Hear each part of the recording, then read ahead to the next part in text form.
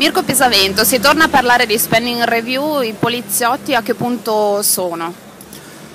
Eh, l'ultima ennesima beffa nei confronti dei poliziotti della questura di Padova senza tenere conto di, di quelli che sono già i disagi eh, che stiamo vivendo in questi giorni, mi riferisco ovviamente al tetto retributivo, al mancato eh, rinnovo del contratto di lavoro, ora la spending review oltre a toccare le divise, lo abbiamo denunciato nelle settimane scorse, le divise operative che sono eh, in, minura, in, in, misura eh, minore rispetto alle effettive esigenze di chi a Padova effettua il controllo del territorio, oggi purtroppo dobbiamo denunciare ancora una volta eh, un taglio, un taglio, un taglio, un taglio che è relativo alle cartucce eh, che eh, servono necessariamente per quello che è l'addestramento del tiro dei poliziotti.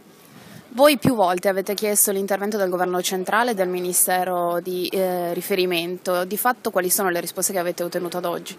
Le risposte per quanto riguarda ovviamente le indennità, il tetto retributivo, il contratto di lavoro sono bloccate, nel senso che non,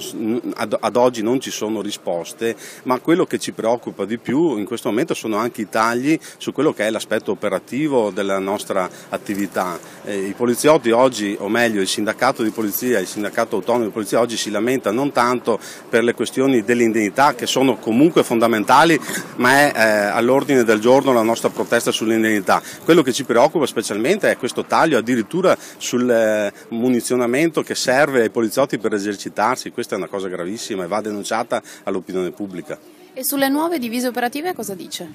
Le nuove divise operative sono arrivate dopo quasi cinque anni di sperimentazione da parte del Ministero sono finalmente arrivate anche a Padova, noi il SAP lo ha scritto nelle settimane scorse, sono arrivate però in un numero minore rispetto a quello che sarebbe il vero fabbisogno del, del, personale che effettua il controllo del territorio, per cui inizialmente erano circa 104 le divise, oggi finalmente hanno eh, portato eh, anche eh, un numero tale per coprire le esigenze della sezione volanti, nonostante questo non dimentichiamo che eh, le divise dovrebbero essere almeno due eh, per ogni poliziotto, ad oggi ne abbiamo quasi una, ecco questa è la battuta.